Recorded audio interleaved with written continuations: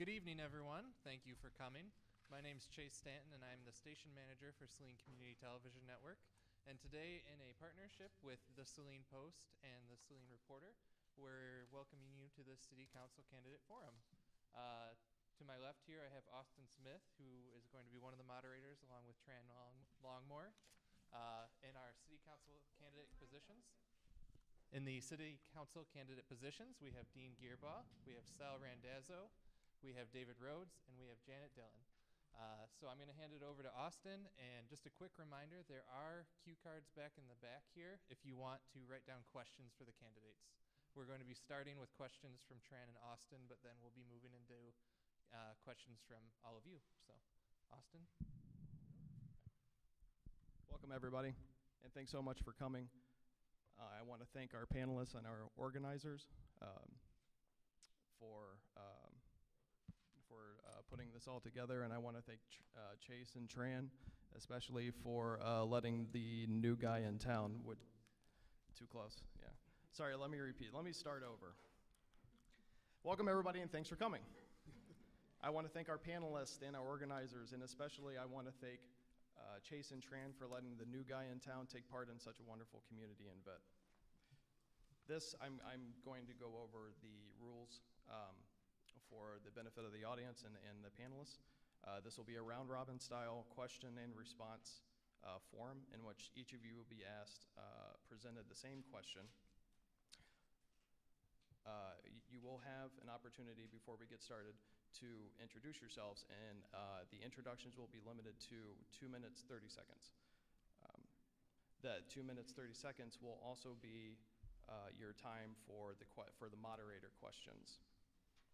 Uh, Audience submitted responses, in other words, uh, audience submitted uh, questions that come to us, uh, those responses will be limited to 90 seconds. Uh, And your closing statements will also be limited to 90 seconds. I'm sorry if that's a little convoluted. Please ask me before I sit down if you have questions on any of those time constraints. Uh, time will be moderated using cards. A red card, yellow card means you have 15 seconds to wrap up your answer. Red card means you have zero seconds and you should stop. Uh, the moderators, Tran and myself, will ask a series of, excuse me, five questions, and then we will turn it over. Then we will go to the audience portion of the questions.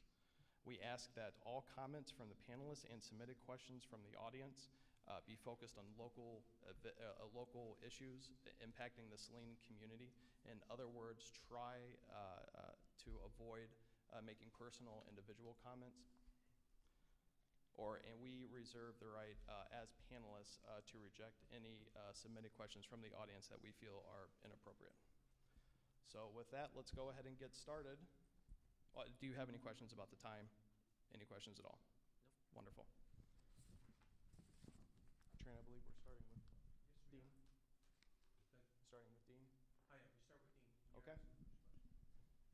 Here we go. First question. We are going to go right down the line. Uh, I'm sorry, we get uh, introductions go first. Good.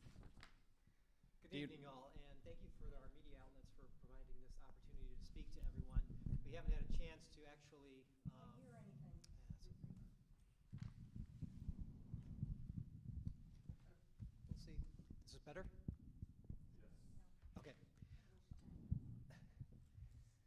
Again, I'd like to thank everyone for coming tonight that's presenting us, or here to watch us and listen to us speak.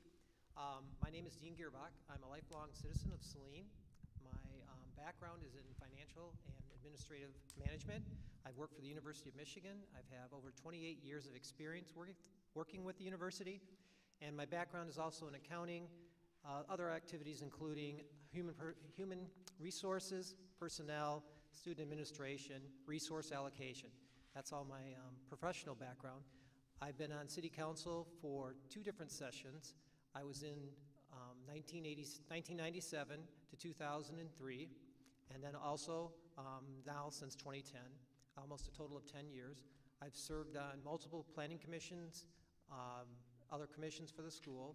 My background is also uh, in family business. We own a property that has been in our family for over 90 years in downtown Saline, and that's been part of my reason to continue on council, as it's been part of a tradition of my family. My grandfather and my great-great-grandfather were on city council, And it's one of the things that I think is one of the reasons for being a great community is that we have the tradition of family and we have the tradition of individuals that have committed to themselves to be a part of our community, which I continue to do so.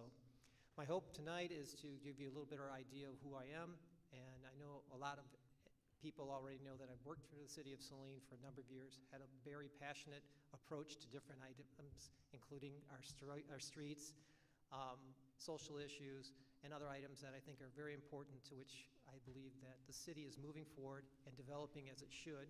And we need to look at how we continue as a community to develop connections, to develop economic needs, to develop and maintain our citizens' affordability, to keep taxes appropriate, to keep services available, and to keep our town safe, secure, and clean for those individuals that live here. Thank you.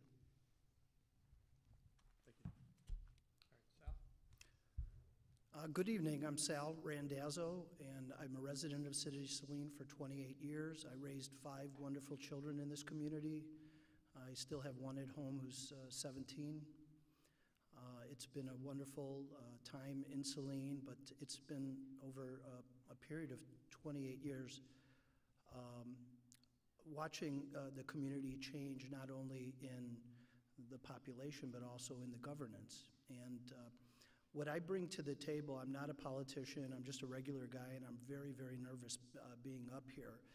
But um, I think uh, uh, I'd like to characterize what I'm doing as not really running for office, but just seeking office, and very reluctantly, because I, I feel like we're at a crossroads here in, in Saline uh, with the type of governance that we have. And uh, I say that from experience of dealing with the government. I was in, uh, on the Parks Commission for one year.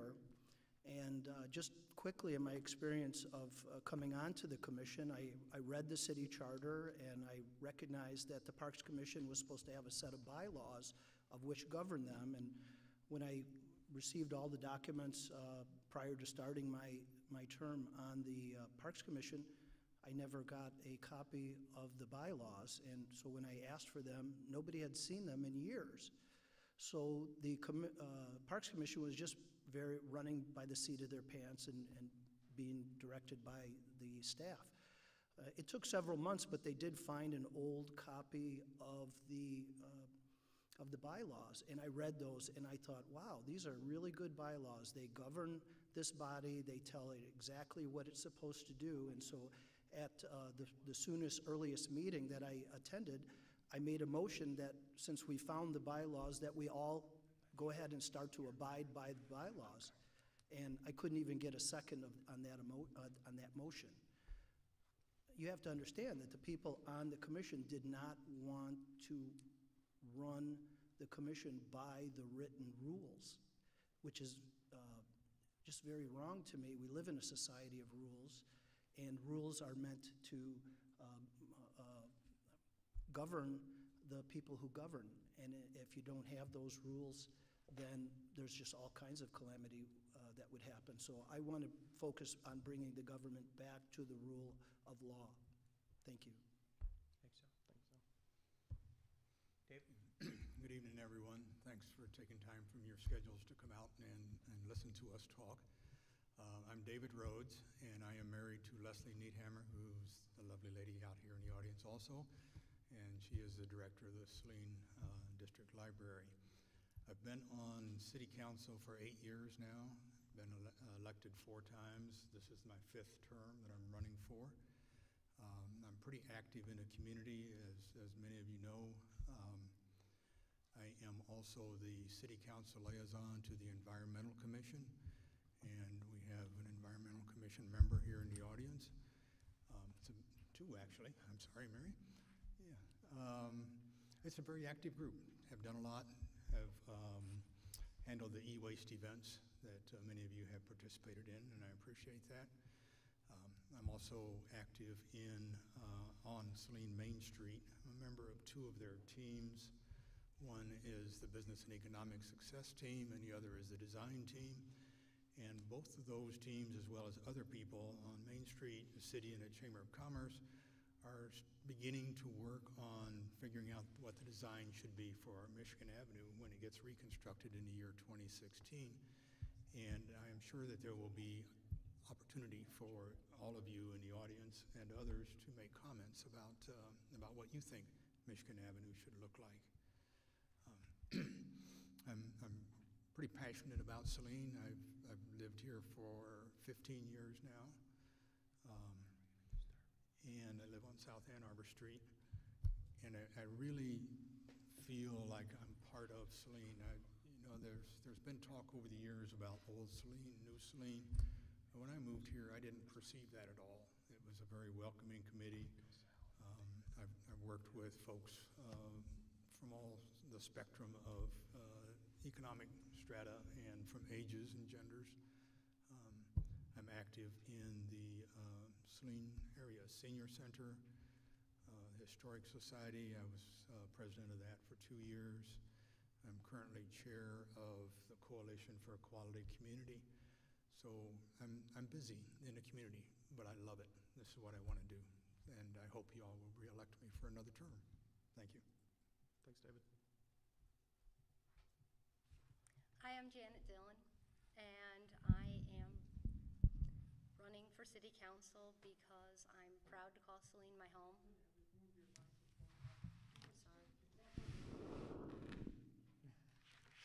Sorry, start again. I'm Janet Dillon, and I'm running for city council. I'm proud to call Saline my home. And unlike the others up here, I'm relatively new to Saline. I've only been here for eight years but my family chose Saline. We based our decision to move here solely on its reputation. And we're happy. We want to stay here long term. And it's that reason that I want to be involved in our city's government and make sure that Saline stays where it's at and continues to grow and move forward and become more prosperous in the future.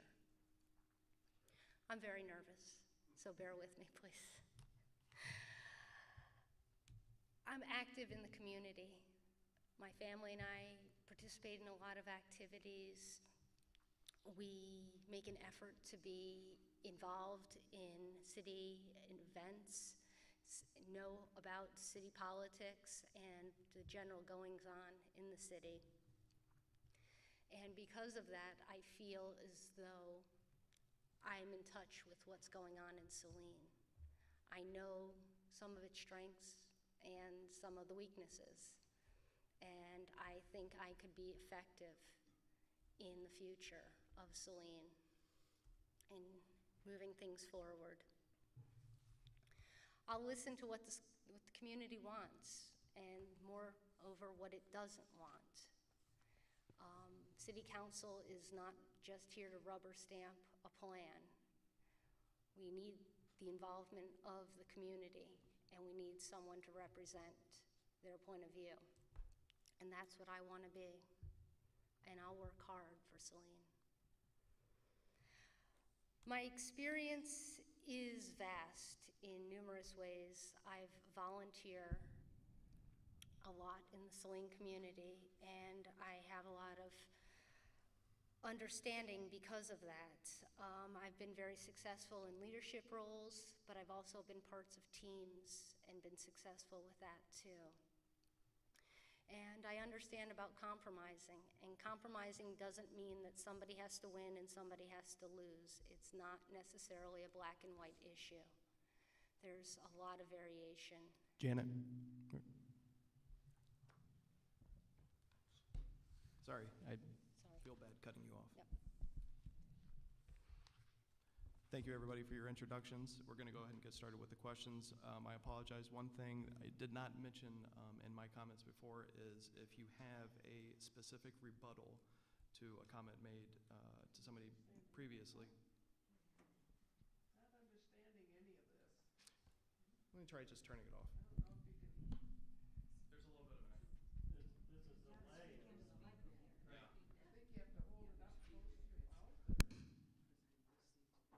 Is this better? Yeah. Everybody can hear? Speak up loud, Okay, yeah. I can do that. Uh, I, I, I'm- I apologize. One thing I did not mention in my previous comments is that if you have a specific rebuttal, uh, to a comment made, uh, previously, we ask that you use part of your response time for that rebuttal. We feel that two minutes, thirty seconds is enough time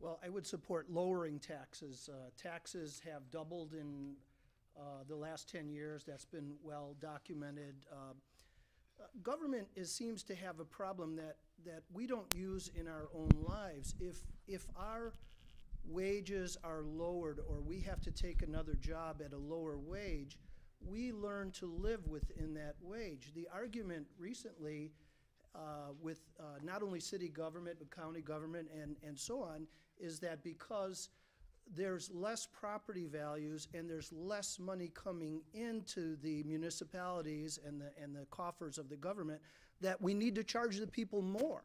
I mean, that just doesn't make sense. When uh, people are suffering because their property values are lower, uh, wages are not going up uh, proportionally with the cost of living, the wrong thing to do is to have city government come after those people and take more of their money. So I would be absolutely against raising taxes. I'm all for cutting. Um, I mean, recently, City of Saline just bought another piece of property for sixty-six thousand dollars. They own more property in the city than I think uh, Faurecia does, and they keep buying more using taxpayer money to buy it. It's uh, it's kind of ridiculous to go on buying sprees with taxpayer money. David, same question? Um, You know, I, I support the concept of lower taxes, but I also recognize the need to maintain, Just talk louder. Uh, just talk louder, because the mic is just going out, right? Okay, so anyway, I, I support the concept of having lower taxes, but I also realize that we need to maintain our community in the, in the manner that is welcoming to people, and so we have good roads. Um, Our DPW Department, Department of Public Works, I believe, is excellent. They do great work. We have a city staff that is very dedicated to our community. They uh, went through a number of years of having salary freezes, um, increased expenditures out of their pockets for health care and other things, but there is a limit as to what you can do to your staff and still expect them to work well for you. We have to maintain the morale of those folks. We need good people in the city. Otherwise, we won't have the community that we have now and that we've come to enjoy. We, uh, we enjoy the, um, the pleasures of our various parks and other uh, attributes within the community. Those things take money to, uh, to maintain. And, and it's not all as simple as what it may seem to someone who's on the outside looking at, at, the, at the process. We have um, a fairly, I don't even want to say a fairly large, we have an adequate number of city staff um, in order to, to maintain things, but what we don't have are the resources to improve what we, uh, what we would like to see in some areas. So I favor lower taxes, but I think the only way we're going to do that is to increase the tax base. And so I work really hard at trying to get more businesses to come to the city of Saline to take up shop within our community. Um, that's that's a way to lower uh, lower our tax bill, or at least not increase it while we're still trying to maintain our infrastructure.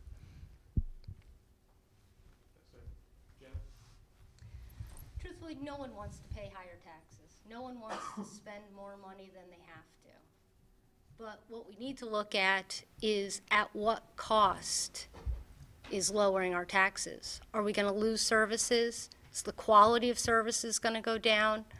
Are we going to have fewer amenities? And are we going to have a less than standard quality of life in our city that we're used to? I miss certain things that have been cut from the city due to the budget. And I would be willing to have them brought back if it were just a small tax increase. Maybe I stand alone in that, but I think there are other people. And don't misunderstand that I'm not in favor of a tax increase, but we need to do what we have to do to maintain our city. And the easiest way to maintain it is to develop our businesses and our housing market. If we can do that, we can spread the burden uh, around and take some of that away from the taxpayers.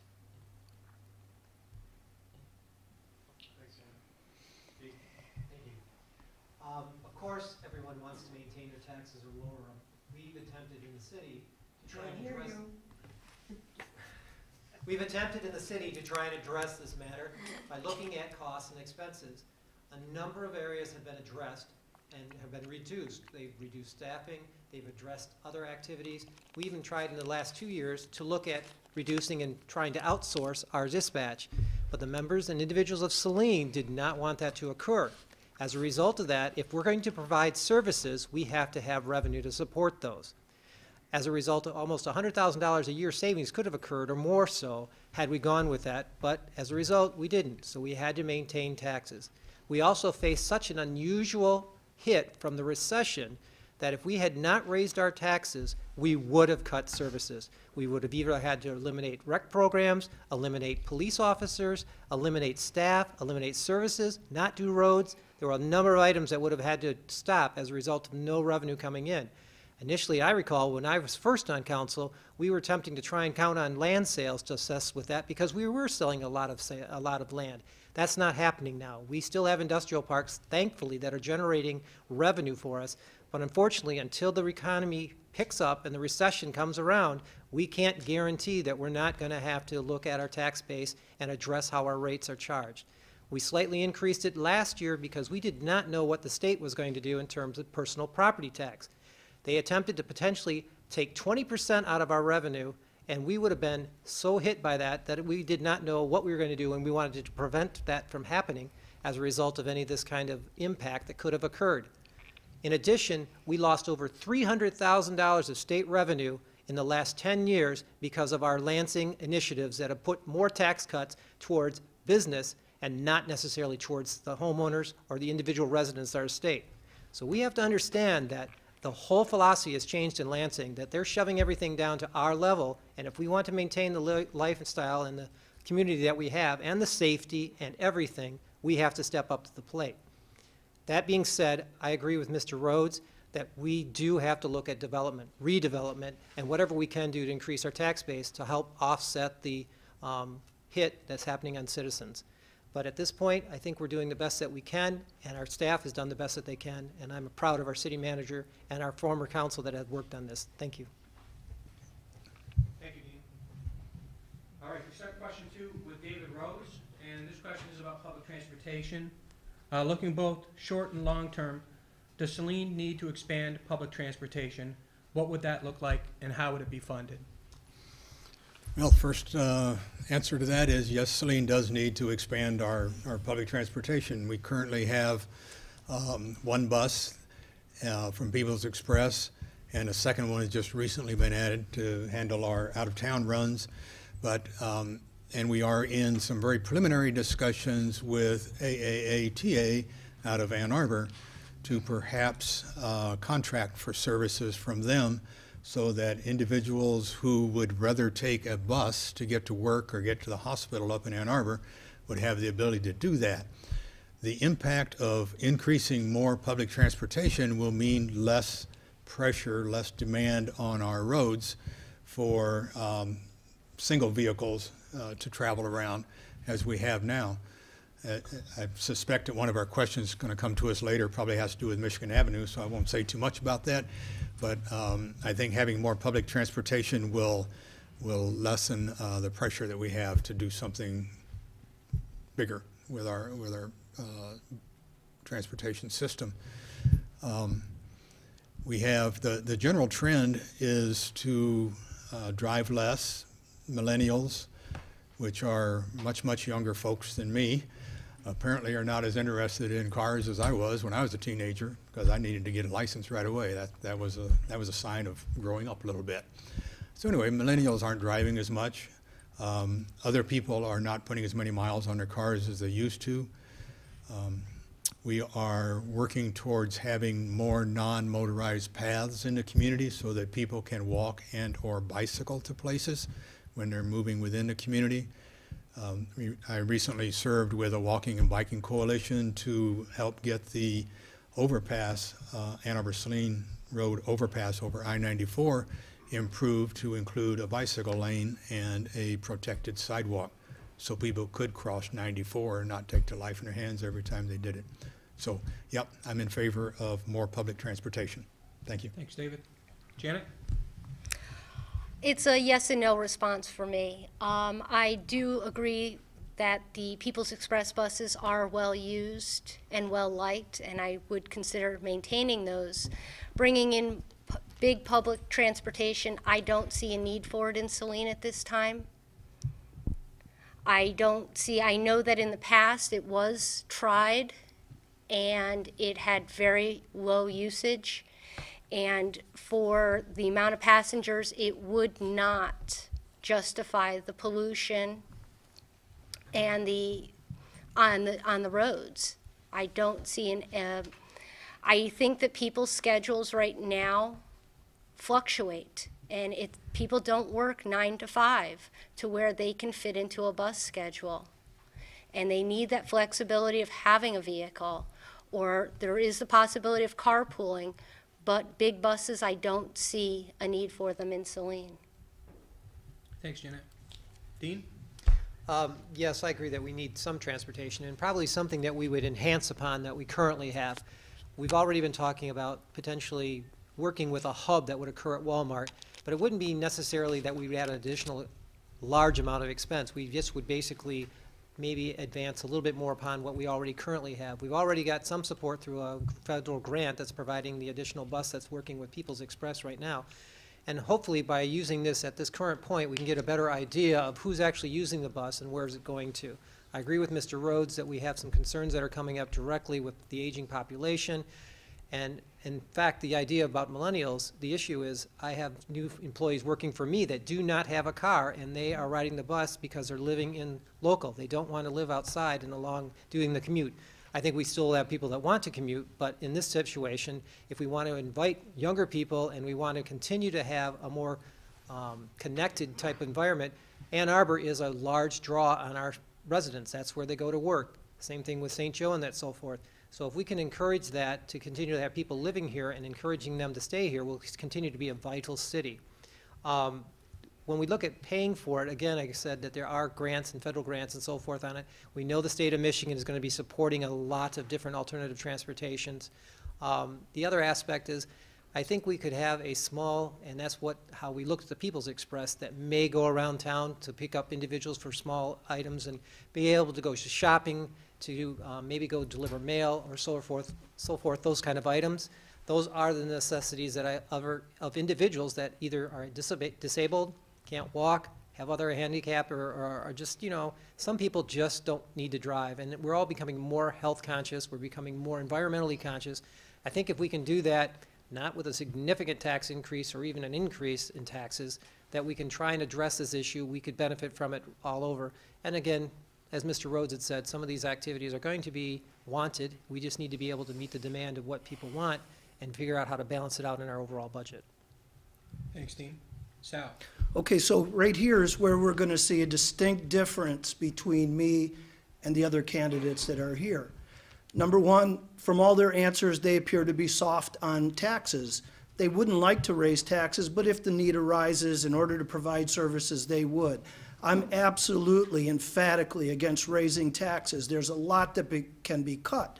Um, as far as, um, as I mentioned earlier, they're buying properties. Where are they getting the money for that if, if they're in dire straits? So uh, be aware, uh, Washtenaw County, uh, the county is coming after you for a transportation tax. That, they just raised uh, half a mil without a vote on, uh, to raise money for roads. The city of Saline has more taxes that they can come after that are statutory allowed, and also there's a tax that they can do with the, uh, the fire department because they're funding that out of the general, general fund, but there's also, they have the ability to tax that. Plus, uh, they also have the CARES millage. So they've got all these ways to come after you to take more money from you. All right, so transportation.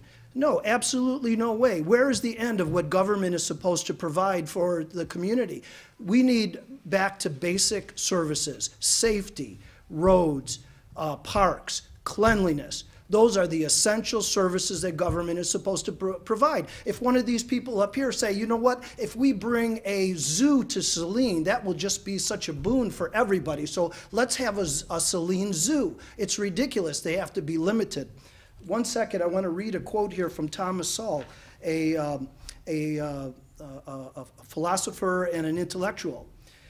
You know the old adage about uh, give a man a fish and uh, he'll eat for a day, or, or teach him to fish and he'll eat for a lifetime. Well, that's, that's been replaced with give a man a fish and he will ask for tartar sauce and french fries. Moreover, some politician who wants his vote will declare all these things to be among his basic rights. And that's where we're headed. And that's where I draw the line. All right. Thanks, Sal. We're gonna go on to question three now. Uh, question three starts with Janet. Um, this is a question that's already been mentioned once. Uh, it's a huge topic for any community. It's Saline. Can't hear anything he says. Question three is going to start with Janet. It's a topic that's already been mentioned once. Uh, it's a huge, um, issue for any community, Saline especially, and that's development.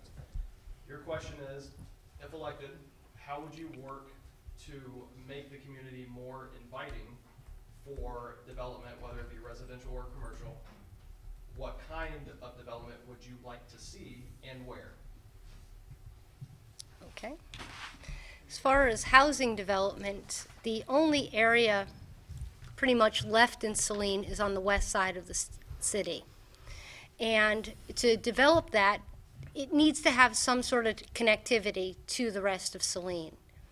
And right now, you would have to cross Michigan Avenue in order to be on an, on a sidewalk to come into Saline, or you'd have to drive. I think that the city needs to look at, if they're going to develop there, providing those people with access to the city, meaning developing sidewalks or something so that people can, can enter the city and not feel like they're annexed out. Um, as far as business development, I think we need to look beyond the downtown, and we also need to look beyond just small business. Um, I believe that bringing in bigger companies doesn't have to be big box stores, but bigger companies that can weather ups and downs in the economy more so than the small businessman would give some stability to our city and give some longevity to the business community. Thank you, Janet. Dean, same question. Thank you. Um, Of course, I've encouraged growth, and where a redevelopment that could occur is in downtown and around downtown. We have a number of open parcels that could be redone. We all know about 147 uh, West Michigan. We've all been pushing for that. We've also been looking at, there's other lots that are for sale. The city is looking at developing, um, and having a developer come in to do the former um, Service Center property and also the property on Monroe Street, which by chance, because of the price that the city got, will hopefully be able to generate even additional revenue to pay for the additional other park line that we just recently purchased. And that was one of the reasons why I voted for that, because we were using the land that we already currently own so that we could purchase other property to make an even better environment for individuals. People are looking to come into Saline to make sure that they have the type of things that we see in a community in which people believe that's part of it, historic and all those things. We'll move upon those as an advantage too. We have a great historic downtown, we have other historic assets, which people see and address that as being an item to which they want to come to. We have our schools, we promote that. We have a whole branding that we're going to be doing to bring in the people to come to Saline, to want to be in Saline, to work in Saline. Um, I also want to see us potentially, we know that we have a 425 agreement with Saline Township. How that will eventually come about, we don't know. Um, That is the potential for development that may happen, but I don't want to see 4,000 homes come in. But we know that we probably will have some growth there and additional growth that we may have on the west side, just on Austin Road in that area. Of course, that property, individuals may want to come forward and have the city contribute towards it. I'm not seeing that. Developers can pay and they can make their profit, but we don't need to maximize their profit based on the taxpayer's dollar. In addition, um, I think one of the things we'll have to look at is trying to encourage a mixed use. We've already put over an overlay district for the downtown with encouraging both residential and commercial so that it'll give a benefit for a developer to come in and basically be able to do two things or three things with a property and not necessarily be restricted. So as a result of that, they can't do what they want to do, but we can work towards that and encourage them to do that. In addition, I hope that our industrial parks, we know that we have property available, but we also know that we can look at different types of uses for those. There may be availability to turn them into some other type of research or technical park, and as a result of um, land being used up in Ann Arbor and so forth, hopefully Saline will become more, more important, and people will want to develop their business here and use a Saline address as much as they want to use an Ann Arbor address. Thanks, Dean. Sal?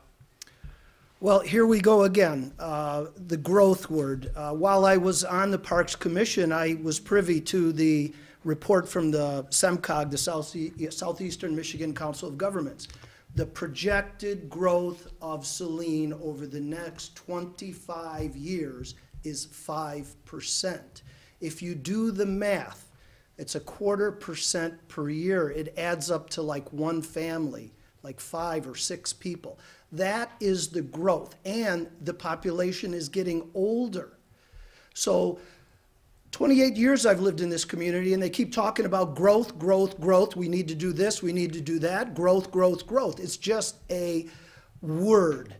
It's a word to get your attention, it's, but it's not happening. It's not projected to happen. The city's holding on to tons of land. It can't give it away.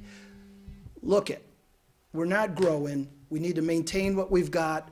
It's not up, us, up to us to decide what kind of businesses come into Saline or what kind of things we want. Uh, you know, that is, uh, that, that's up to the marketplace. That's up to the free market. Businesses will come into Saline when the property is priced right, when the rents are cheap, when the, when the people have the disposable income to buy what they've got to sell. That's when they come into a community. Make Saline a lean, mean machine, and people, businesses, and people will move here because it will be in their best interest. All this tinkering and around, it never has worked. It hasn't worked in 28 years. Thank you, Sal. David? Uh, Before I address the question at hand, I wanted to just clarify one point, and that is that the CARES millage is a school millage and not a city millage. City has nothing at all to do with that.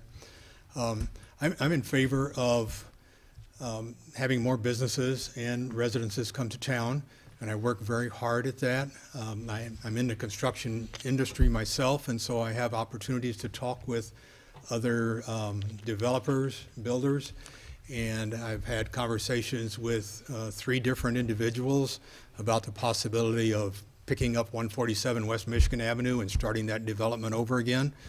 None of those at this point in time are, have come to fruition, but that is not going to stop me from continuing to try. And I think that it will happen at one point in time. Fortunately, the um, SEMCOG forecasts for our growth are just a forecast, just a trend line. And with the uh, impending growth of uh, development of the Houghton School property and the proposal that's going to come to us for the Monroe Street property, we will, in the next year and a half, blow that projection out of the water. So we will, in fact, have some growth within our community. That happens to be residential, and we need residential growth. We need students to come to our schools so that we can continue to have these great schools that we have.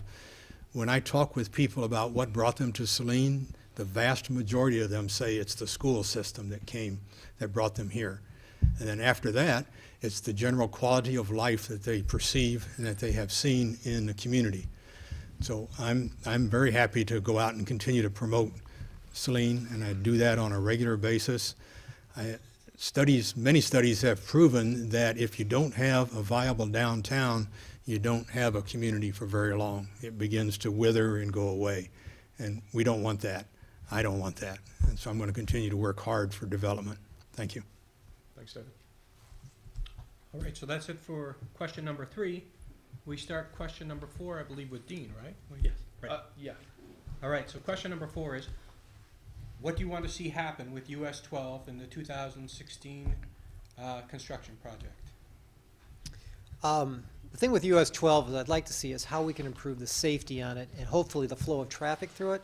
I know we've talked about road diet and people are concerned that that may be something that would hesitate or actually cause more of a roadblock. Part of my desire now, though, is to address not only Michigan Avenue through our town, but also outside of our town. We need to gather the information now that we can use to show that we can't handle any more traffic coming through downtown through the four corners. We need to sit, get on the case of the county to look at other alternatives. There's potential out there. It's whether or not we have enough influence on doing that. Um, As we look towards a more complete streets, which is now a new legislative approach that the state of Michigan wants, they want to see, you know, walkability, they want to see bike paths and all those type of things. We either try to put those all in with a five-lane road, removing all of the lawn extensions and everything, or we get real and try and look at how can we improve things by using synchronized um, lights, other ways of looking at approaches, better traffic flow, um, trying to address the way traffic comes through by using uh, more reliable speed limits. The idea that we're going from 45 minutes, 45 miles an hour down to 35 miles an hour, and then it's picking up again, going 40 miles. This is just confusion and craziness by the state, and not allowing us to look at how we can actually lay out and control traffic through town so that Michigan Avenue comes out better. There's also the ability for us to try and connect the west side of the city to the center of town. We have some sidewalks, but it's not a great approach. Individuals want to be able to come from our communities, and if we grow to the west, we need to be able to connect west, middle, and the east sides together. The other approach with 12 is I believe that um, if we can put in more safety measures such as crosswalks and the things that we've talked about, different signals, maybe even some small boulevard aspect or whatever, that gives you an idea that you have a uh, land or an island of safety in some locations as people come across the street, it may help. I know there's a lot of talk about different changes in traffic and what traffic could be in the future. We just don't know. But at this point, if we don't look at everything from a perspective of even the road diet to even a five-lane road, we don't know what we have, and we can't tell individuals what we want and not give a full picture to the population. They're the ones that are going to want to make the decision on this, but we have to have the data and the information in order to do it. So I think that's what I want to see happen with US 12. Thanks, Dean. Sal? I want to take a little time to rebut um, uh, Mr. Rhodes' statement here about the CARES millage. CARES millage, uh, to be honest, is not just for schools. It's for seniors, it's for arts, it's for recreation. It, it covers more. Are you on the CARES board? No. You're not. But uh, Henny Field is a good example. That is a park off of uh, East Bennett Street. About a million dollars went towards the right revitalization, so-called revitalization of that park. A substantial amount came from the CARES millage. The, the Henny Field was supposed to become Saline's Central Park. And to the tune of a million dollars, is there anybody, honestly, that can say that Henny Field is a central park? The original designs included an amphitheater and a, uh, a paved area, which could be a uh, skating rink in the winter. But it's not become that at all. It was a million dollars spent so that you could have two baseball diamonds and a path around it and some parking. So the money's not been spent wisely. We don't have a central park. We are trying to uh, build up a downtown that has US 12 going through the middle of it. This is not Chelsea. This is not Dexter. This is not Manchester. We've got US 12 coming right through the middle of our city. And you know what? The people know it. And they've lived here for decades and they understand it. And the idea, like the fear mongering, if we don't do something, people are going to move away, that's just ridiculous. People live in Saline because it's a safe community. It's adjacent to many uh, uh, interests and close to an airport, and sure, the schools factor in, but even the schools have gone down. They're schools of choice, and the population was just announced the other day, and I think it was about 400, 400 people uh, students less than the year before. So we're shrinking, we're not growing, and the idea to keep taxing people at a higher rate is just ridiculous. All right, thanks, Sal. David? Um, Michigan Avenue, US 12, I prefer to call it Michigan Avenue, was scheduled to be reconstructed in 2018. And so the perception was that we had plenty of time to work on what we would like it to be and to get, feed our input into uh, Michigan Department of Transportation, MDOT. And that got moved up just recently to be re- being reconstructed in 2016, which means that we have probably six or nine months in order to decide what we in this community, and when I say we, I don't mean just city council, we, everybody in this community will provide input, have an opportunity to provide input, what that uh, road should look like when it's rebuilt, because it is going to get rebuilt. And we have an opportunity now to perhaps influence how it is reconstructed. And I don't know if it should be a road diet reconstruction, if it should be what it is exactly now, if it should be something in between with some islands for crossing, better defined crosswalks, better signalization. But whatever happens to Michigan Avenue in 2016, is going to influence our community for the next 30 years. Because it'll be that long before they decide to want to do something with it again. Um, As as Sal pointed out, it takes a lot of money to get things done, and we don't want to spend it inappropriately. And so we have this opportunity now to uh, talk with MDOT and to find out from them what our options are. And then we can begin to explore those options and see if there's things that we would like that MDOT doesn't present to us until we negotiate to have something. Um, I suspect that MDOT will do their design and go out for bid probably by fall or winter of next year in order to start construction in 2016. So we have a very short window to influence it. Uh, But I think it's important that we do influence it. Thank you. Thanks, David. Janet? I agree with Mr. Rhodes, and I do not have a definitive position on a road diet, but I will say that I am hundred percent in favor of having a comprehensive road study done. I think that we need to gather as much information as we can so that we're able to make the best decision that we can. Because like Mr. Rhodes said, this is a once in a lifetime thing. Well, depending on your age, it might be twice. But we really need to make the best choice and we need to look forward. And we're talking about the traffic on the road right now. Well, what happens in the future? Will there be more bus transportation, like Mr. Rhodes is saying, so there'd be fewer cars? Will there be automated cars to reduce the traffic? Will there be more pedestrians? We don't know these, and we need to analyze data and make the best informed decision that we can. All right, thank you, Janet. Thanks, Janet. Before we move on to the final question from the moderators, I want to put out a final call for the um, audience questions. Please fill out a card if you would like to submit your question. Uh, We're going to do, uh, start with Sal for question number five.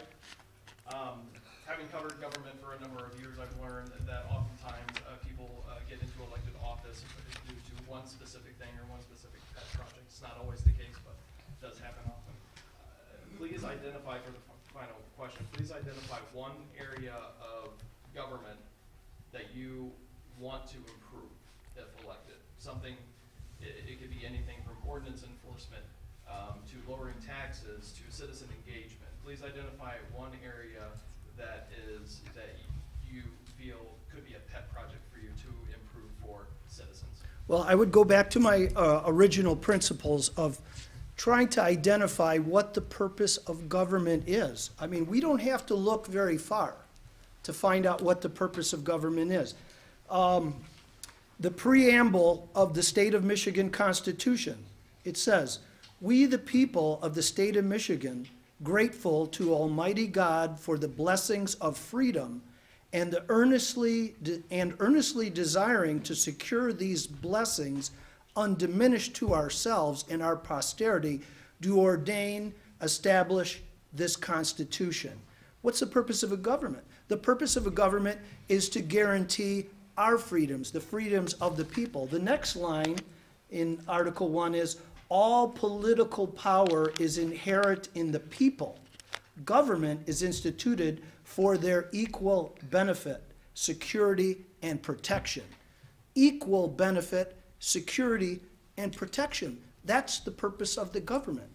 Not all these pet projects. It's not for uh, you to elect somebody to come up here who has an idea to see if their idea is better than another idea. Your freedom and, and the freedom and the equal protection of everyone here is the paramount thing. What's happened with government? Government has, has taken freedom away from the people by taking more and more of their rights away. They have to ask for permission to do anything. And they've made their, their selves more free to do more of what they want. So my thing would be give the freedom back to the people. That's where it comes from. You only have the power in government to do what the people have the power to do themselves. They grant you a portion of that freedom. And, and so you can't do things that they can't do. I can't go to my neighbor, neighbor and say, hey, I need transportation to get to the store, so give me some money, and hold a gun to their head. That's wrong. It's not up to government, to, and, and, and we don't want to put government in our place to do the same thing. Listen, more of what needs to be done needs to be taken by the, back by the people. Our churches, our civic groups, volunteers, many in our community are getting older. They can help other people get to where they need to go. There's services for transportation, Uber, Lyft, Zipcar. There's people, there's, there's, uh, uh, churches. Everybody can work together to provide these services. We don't need to keep looking to government to solve every problem. The people are able to serve, tho- solve those problems. Hey, government, keep us safe and give us our freedom. Thank you. Thanks. My time's up. It was more gentle than a hook. so.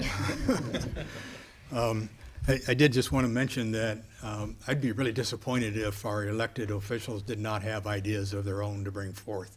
I don't know how we would uh, maintain our quality of life and/or do any improvements if we didn't have ideas. But just because we have ideas doesn't mean it's going to happen, but we can put those forward. Um, The one area of governance that um, I have made some um, strides forward in is in including, increasing the involvement of our citizens within the city government. Um, One of the steps that, that we have taken lately, and I would take credit for initiating that, is we've, we've started the See, Click, Fix app on smartphones so that people, when they see a problem, can report it.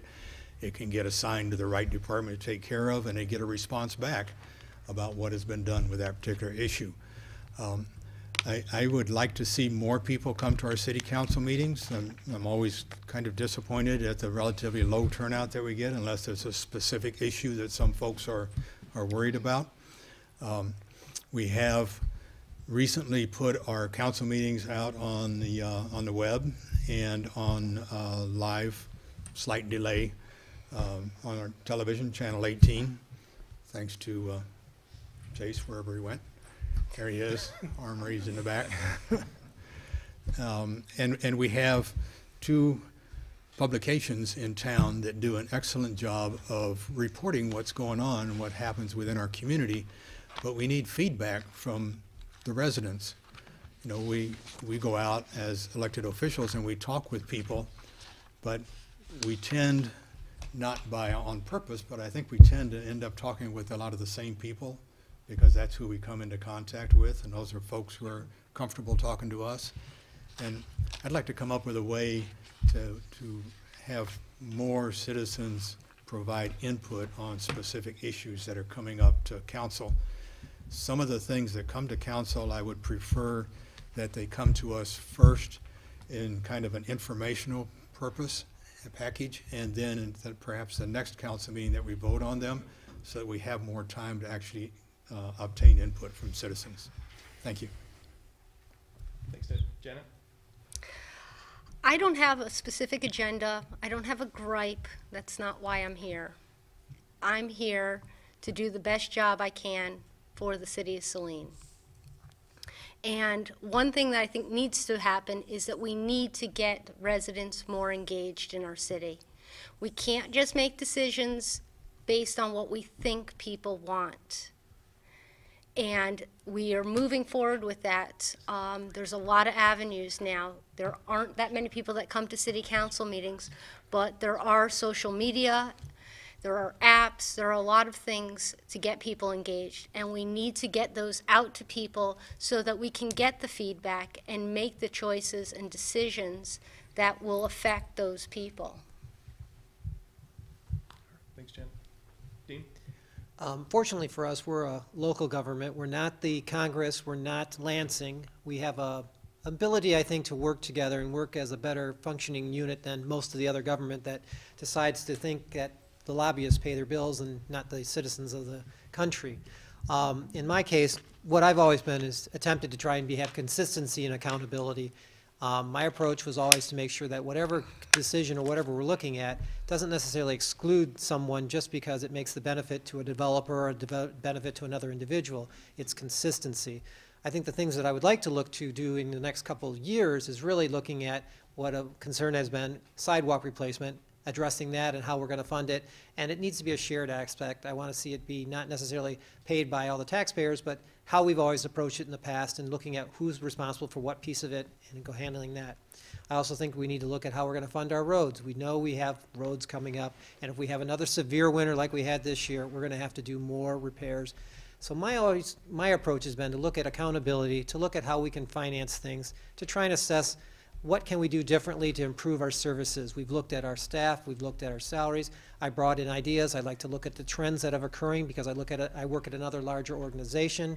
Um, I look at the other things that I think are important for us is our historic approach, our assets that we currently have, things that really make us the unique city that we are, and working towards what individuals have voted for, have accepted to do that. And as a result of being a representative of the city, individuals vote for us for our opinions and our ideas, and they expect us to do the majority of it. When there's an issue, we hear about it.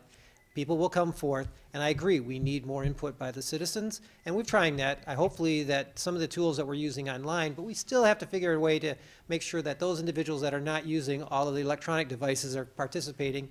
And a lot of that is trying to get them to submit either letters or watching on television or even watching wherever they can see us. I think those have been some of the better benefits for it. And perhaps maybe we need to televise more of our commission meetings and those type of things so people get a little more idea of what's actually going on. Um, for me, I think the idea is really the approach that government can be effective, it can be efficient, it can be something that helps the community, and there are those expectations of specific essential services, but there's also those items that are a little bit more and that we have to look at, and I think we can accomplish if we look at other things that we may have to forego. Thank you. Thanks, Steve.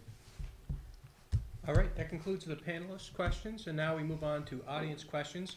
Um, While we're asking a few questions here, feel free to grab a card, um, write a question, and, and give it to us. We might filter it for, uh, you know, to make sure it's appropriate and everything. Um, But we'll try to get the meat of the question in there. And um, before you go, uh, when you leave here tonight, uh, you might want to consider going downtown for uh, Ladies' Night Out, Saline Main Street's putting that on. Thought I'd get that plug out there, if that's okay, Chase. Hope we didn't break any cable rules. Anyway, so here's, here's the question um, from the audience. And we're going to start, and now the questions are 90 seconds, uh, 90 second answers um, here. So we're going to start with David Rhodes this time? Yes. Yes. Yeah. All right, David Rhodes. How do you envision working with your council colleagues and what's your working style? Um, Yes. You're have to speak up. Yes, okay. How do you envision working with your council colleagues, city council colleagues, and what's your working style? I, I believe that I'm a consensus builder. I, I listen to other people. I uh, take their ideas. I talk about things with others. I, I read a lot of materials. I subscribe to a lot of different publications. I get boatload of emails from various folks, and and so um, I, I very seldom take a hard position. Um, I'm generally slightly malleable, I guess. There are times, though, when, um, when one does need to, to take a firm position, and so I will do that from time to time, but that's not typically my style. All right. Okay. Thanks, David. Janet? I believe that every action is going to have a reaction, and you've got to look at both sides and weigh out the benefits on both sides. Is there going to be a high cost, and will it, in the end, work out? And that's where I, I believe that due diligence is very important. You need to study things, not make quick decisions, and be completely informed before you make that decision. So afterwards, you're not saying, oops, we didn't realize this was going to be the outcome. Thanks, Janet.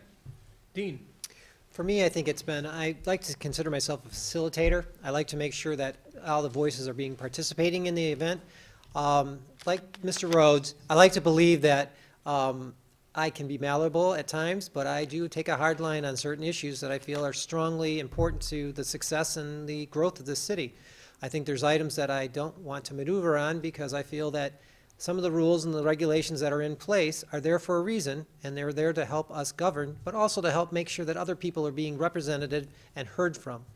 Um, in terms of the council, I think right now we have a good group. We work together because for the majority of 80 to 95% of the issues, We all have negotiated, we've talked about it, we know what's going on. It's not like we're all coming to the table without any information. Where we get to our discussions, there's more of the issues that really need to have people involved in them. And that's where we have to try and rely upon more discussion points and bring other individuals in. And if we have different opinions, we're going to voice them. That's how a group works, that's compromise, that's how we approach to get decisions made. I think it- the best approach for us to do is to be ourselves, to work with one another, and if we do have disagreements, we're gonna have disagreements. We just need to figure out how to work through them and try and approach a better approach to get the answers we need. Thanks, Dean. Sal? Well, um, first of all, I would, I, I'm, I would listen. Uh, we're talking about how would, we would work together, and I would listen. I would listen to everybody's point of view. What I find with the council right now is they tend to vote all together. It seems like they're all in the same club, and I can't understand why there's not a dissenting point, point of view. I mean, I have a wife and myself and five children. There's seven of us, and we can't agree on anything. So how does this council just agree on mostly everything all the time? It seems like there's a bias. And for one reason or other, the voters have elected one type of individual to be on the Saline City Council. You know, if you, if you uh, want politicians to favor millionaires, vote for more millionaires. If you want politicians to favor government bureaucrats, vote for more people in the government. I'm not from the government. I'm from the street. I'm, I'm an ordinary citizen, and I'm looking out for ordinary citizens. So I would listen, but I wouldn't compromise my principles. Now, what is a compromise? Somebody eats too much. That's not good. Somebody eats too little. That's bad too. Eating somewhere in the middle, that's a good compromise. But the compromise like, well, should we charge uh, 38% tax or 37% tax? That's not, that's not the type of compromise that I, I want to be a part of. Thanks, Thank Sal. you. Thanks, Sal. For this question, we're gonna start with Janet. Will our taxes be raised next, let me back up. If our taxes are raised next year, will it be by bonding or requesting, uh, more millage by city charter? I don't have an answer. Is that a Mary question? Mary, is that okay? Yes.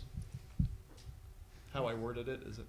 Well, yes, that was basically it. There was a work meeting talking about if the, uh, taxes were increased, there were two ways of which it would be done. And that was basically, uh, asking, because the vote of the people, I, I know a little bit of the answer, so I'm sorry. It's okay, don't be sorry. Yeah, I think it's okay if you don't have an answer. Yes. Um, having been part of that discussion, and what it was, was they were giving examples of how you can raise millage. We don't know at this point. We don't have any idea what we're going, but I don't see why we would have a tax increase next year when we already did a slight one. And in fact, we're hoping to hold the line. The only concern is, is if we decide to do roads, do we have sufficient funds in order to do it? And if we don't, my thing would be, we would take it to the vote of the people, like we've done many times in the past, and they make the decision of whether or not they want to contribute more money towards the, to the roads, or if they want to slow down, or wait for the state to come up with an idea, or what they want to do. But my idea is, that's what we can. We can't afford to do roads and continue to have our operations when we don't have sufficient funds to do it. It's not getting cheaper to do roads, it's getting more expensive. The state knows that too. But they're not providing money like they used to in the past, and they haven't any decision on how to fix it. So from Mary's perspective, where she'd asked the question about um, raising millage, I think we're already fine on our millage. We don't need to raise that any further. We do need to consider how do we pay for our roads, which are million-dollar expenses. And if, if we have to do it within our current revenue sources, we were gonna have to cut services even farther. Can I address that question? Yes. Uh, Let me, from my uh, uh, perspective, explain how government works. I- I I was on the Parks Commission here in Saline, and they have a wish list of needs, and one of them, I think, was a pavilion in a park. And I said that, yeah, that's great. Why don't we look for a benefactor, somebody that would want to put their name on it and be willing to donate the money? There's many wealthy people in this community, there's many people that love this community, there's many people that would give money from their own pockets if they knew that something was needed. But, you know, that idea didn't get much thought, and I'll tell you why, because it's so much easier just to tax people. It's a lot easier to tax people than it is to go out and try to ask for the money. Why do you ask when you can just take it? So if we want to be a com- community, a real community, we need to look within ourselves. We need to find those individuals. Look at there's a dozen churches in Saline. None of them function by taxes. They all function by voluntary contribution. How do they stay? How do they keep the lights on? People donate their money. You don't have to take. Love your neighbor doesn't mean you vote to tax your neighbor.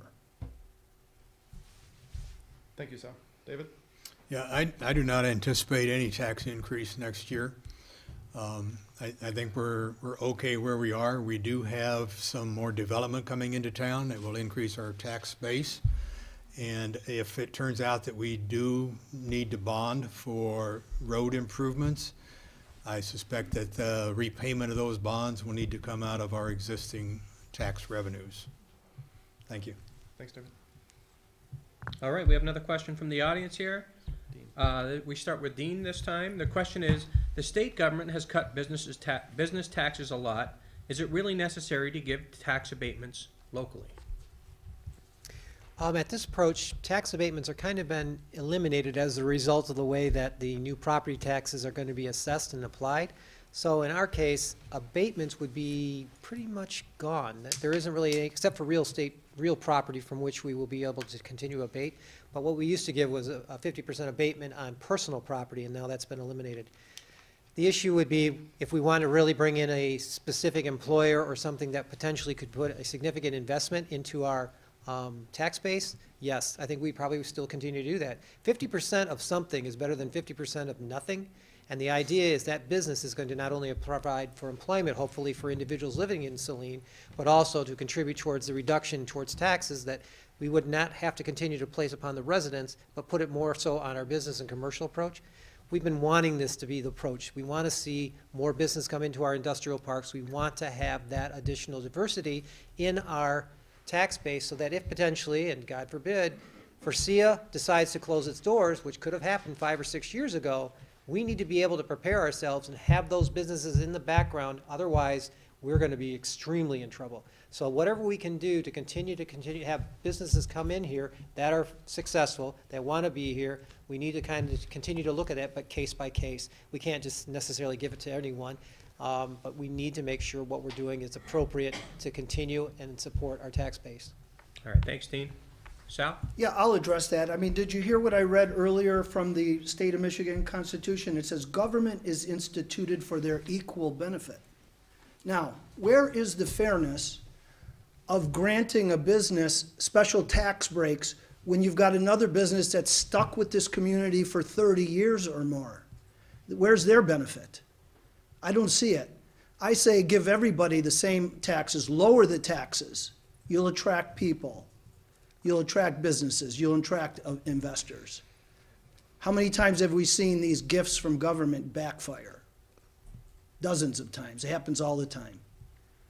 So everybody should be treated equally. Do we want to pick and choose which businesses we want? We're going to take uh, the taxpayer, the people, the people living in their homes, they're going to uh, uh, support a certain business, whoever these gentlemen decide? That's not fair. That's not equity. That's not equal. Lower the taxes on everybody. There should be no special interests. All businesses should be treated equally. Thanks, Sal. David? Yeah, I've never been a fan of, of tax abatements, but I don't know how to eliminate them when everybody else is offering tax abatements around us.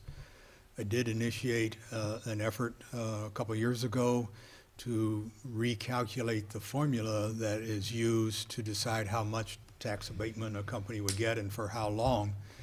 Um, The old formula had a, a section in it that said for every fifty thousand dollars worth of investment, that equals one job. And so people could get credit for jobs that they not necessarily going to bring, particularly with this newer economy where equipment costs more, but it's purchased and put in by companies because it requires fewer staff to operate it. So that, that moved us in the right direction, I think, and it did not cause us to lose anybody because of that change in our tax abatement formula.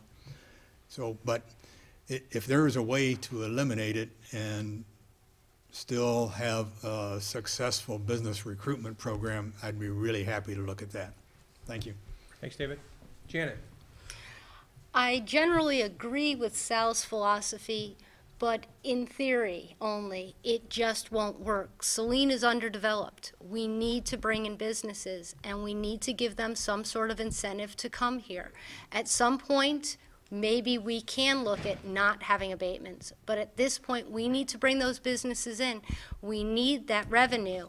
We need, it could bring in the revenue to help our tax burdens. It will also bring in additional employment opportunities. And it's something that Saline needs at this point. Thanks, Janet. Let me go to the next question. You want me to do this one, or do you want to go? You Take that. Okay. I think we're starting with Sal this time. We had plenty of empty shopping center spaces when a new shopping center was built. Mm-hmm. How can we convince merchants to use space that's already available? Empty shopping centers are gloomy places. Well, that's true. Empty shopping centers are gloomy places, but we live in a free market society. We are a free people. Investors that have money are free to purchase property and they're free to build. And in a free market uh, system, you're going to have successes and you're going to have failures, and that's what makes us better. We learn from the failures. Now, empty empty shopping centers, they find tenants when their rents go down and their taxes go down. They give opportunities for people with not a lot of money to invest, but the desire to be entrepreneurs. And what I've seen from this city council is a, is a total skew towards big business. They want to deal with big developers. They want big projects. Um, so, uh, you know, they don't really give the little guy a chance. You know, years ago when immigrants came to this country, they bought little parcels, they built little buildings, and they buildings got stacked next to each other, and the little guy had an opportunity. Uh, governments don't want to deal with that. It's too complicated. They rather deal with one big guy that builds one big development. So they keep making the rich richer, and they don't give the little guy the opportunity. So, you know what? There's going to be an empty shopping center uh, uh, when that happens. We have to understand that it's not government's role to tell people where and how to invest their money. It's their money. Think about it. Do you want government telling you how to spend your money? So, My time. Sal. Thank you. David? It is true that we are going to have uh, new development come in uh, when there are existing spaces available. That's kind of the nature of things, has always been that way, and I suspect always will be. It does provide, as, as uh, Sal mentioned, an opportunity when the uh, the rents are reduced on those less popular shopping centers for new, smaller businesses to get started. We're, we're seeing that now in what was the ACO Shopping Center, where there's a microbrewery that's come in, and uh, because the rents have gone down, they've been able to open up, prepare to open up a microbrewery there in the old Jasmine space. That's a new business that could not have afforded to go into one of the new shopping centers because those costs are higher. Um, There's a, there's a new funding mechanism within the state of Michigan. It's called MILE, uh, Michigan Initiative for uh, Entrepreneurs. And it's, it's crowdfunding. Most of you, or many of you are familiar with things like Kickstarter. This is an opportunity for individuals to invest, not to donate, but to invest in new startup companies. And we're going to have a, a presentation from Michigan Municipal League on November the 11th, 7 o'clock in the evening at Mangiamos to talk about crowdfunding.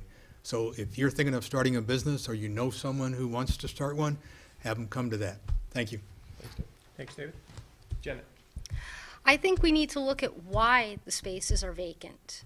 Are these, are we bringing in the wrong businesses? Are they not serving the needs of our community? Maybe that's where we need to focus on, is, is serving what we need, providing the, the retail, the restaurants, so that Saline becomes more self-sufficient and people stay in Saline and not go outside of the community to spend their dollars. All right. Thank you. Dean? Um, I agree with um, Mr. Randazzo. The issue about the centers need to adjust their rents. That's the issue. It's a free market. They want to set their rates. Well, if they have them high, they're not going to get, um, they're not going to get individuals wanting to rent them.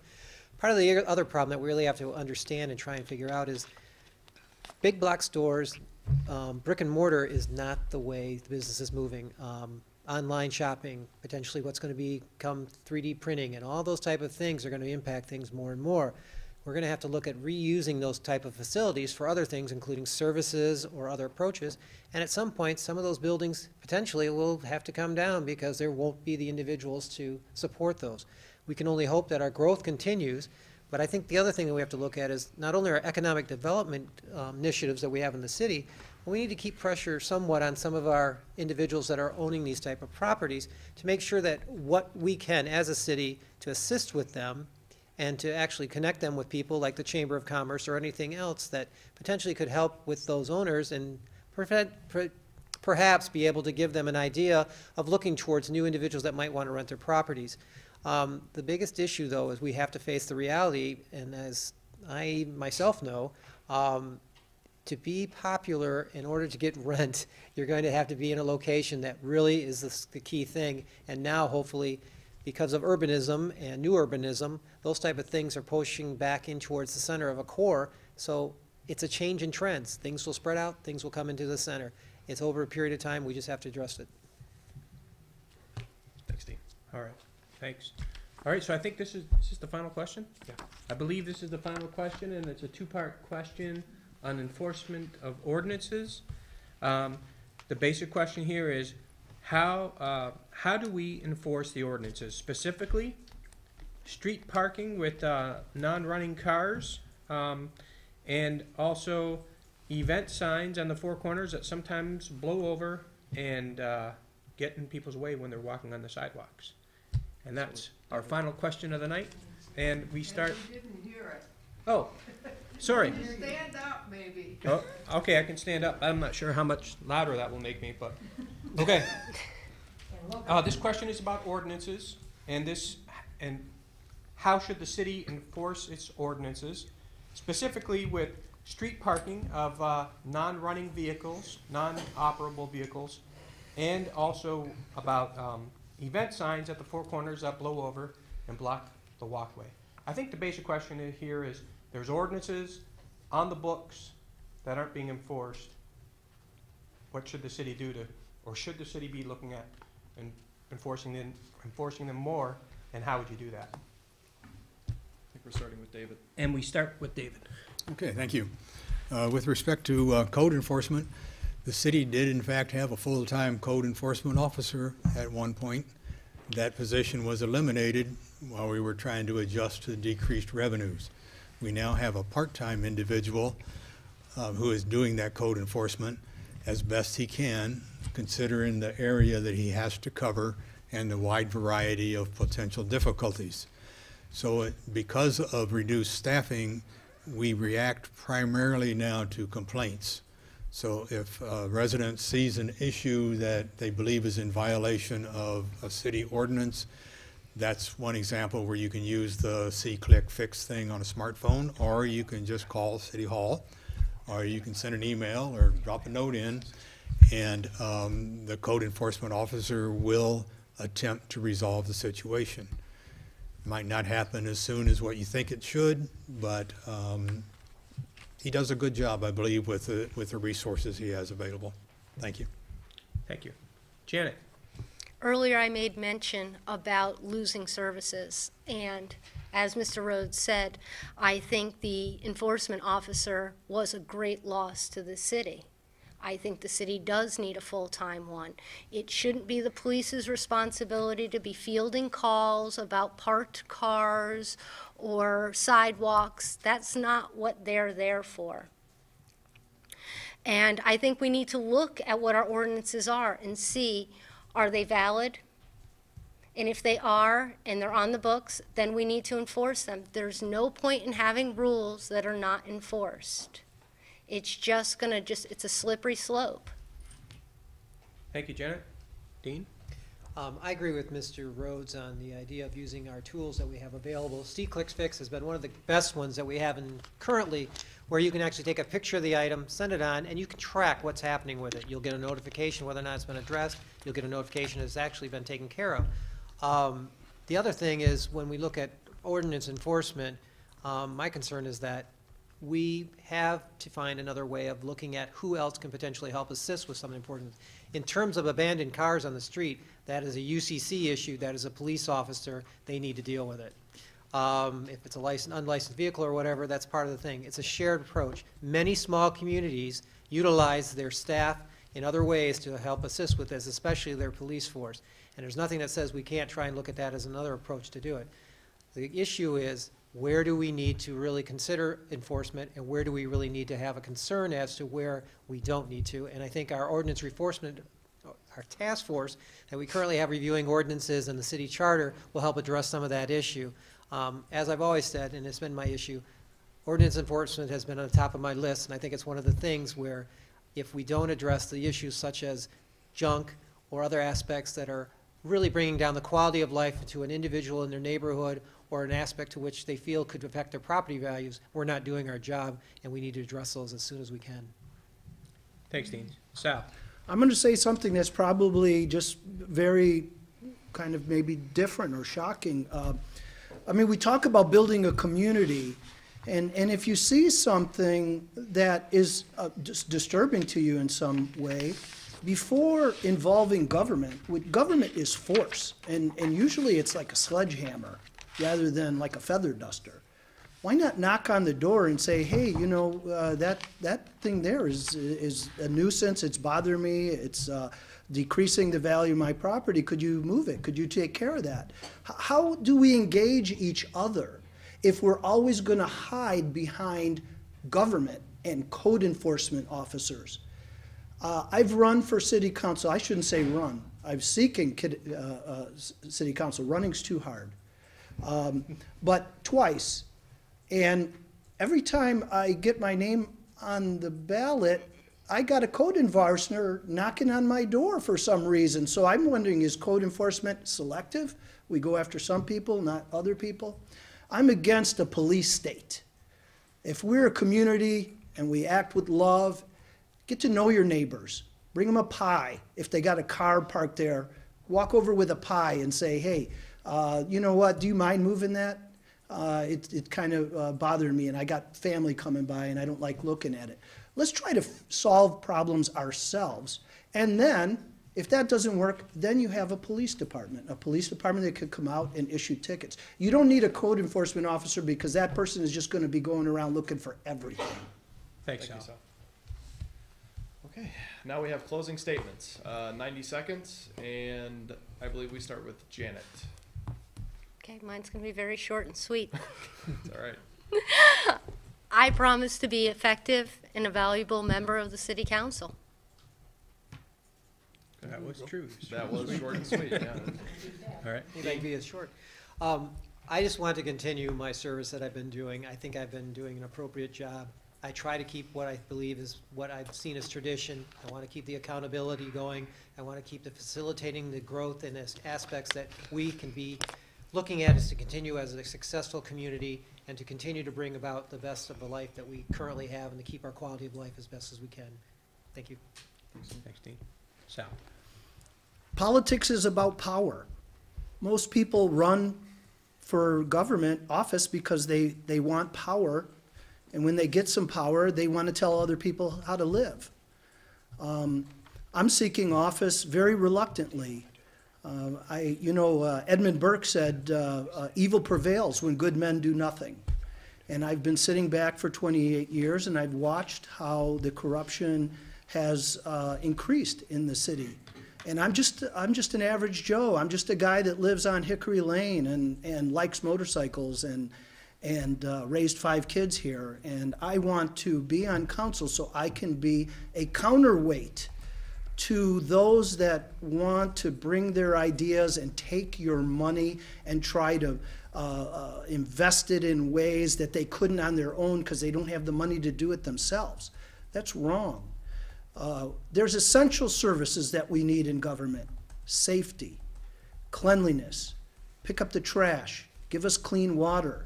That's all any of us want. All this other stuff is spending your money. I mean, they just spent $15,000 of your money the other day to do a study on this Michigan Avenue US 12 thing.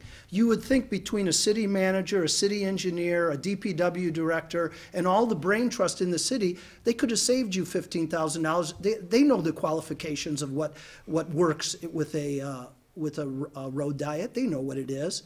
No, but they want to cover their behinds by putting it on a, a consultant and spending your money. Sal, My time's over. thanks, Sal. Yeah, David? And um, I, I'm seeking a uh, fifth consecutive term on city council. Um, I'm 73 years old, I've got a lot of life experience, but I'm still kind of young at heart. I, I get involved with things, I'm uh, passionate about my community, and I think the fact that I am involved in so many different things is beneficial because it, it enables me to be a connector. So when I'm in one group and they have a question about something that's going on, I may very well know what's going on in this other group and help them work together. So I've, I, I believe I've helped a lot of organizations in, in the community. Um, in response to one of the last questions about ordinance enforcement, Dean mentioned it, but I, among other things that I do, I serve on the Code Review Task Force, and we all are, are looking at all of the city codes and ordinances and eventually the city charter um, to see what could be changed, reduced, taken out, um, made more efficient for our citizens. And, uh, you know, that's one of the things I want to continue on. I also want to continue trying to bring in more businesses and residents. Um, I, I love Saline. That's, uh, that's my home, that's where I am, and that's where I'm going to stay. Thank you. Thanks, David. And I believe that concludes all of our questions. Uh, We hope you've learned uh, a little bit tonight and will make a more informed choice on November 4th. Um, We would like to thank the candidates for appearing and answering all of our questions, and we'd like to thank you for attending tonight. And uh, stay tuned to SCTN, the Saline Reporter, and the Saline Post, and this video will be online, as well as uh, other election features. And the Saline Reporter is hosting uh, a mayoral forum with candidates Lee Burgoyne and Brian Marl, October 17th at 7 p.m. right here, Six thirty. at 6:30 p.m. Sorry, right here at Liberty School. Uh, have a great night. Thanks, Thank you. everybody. Thank you.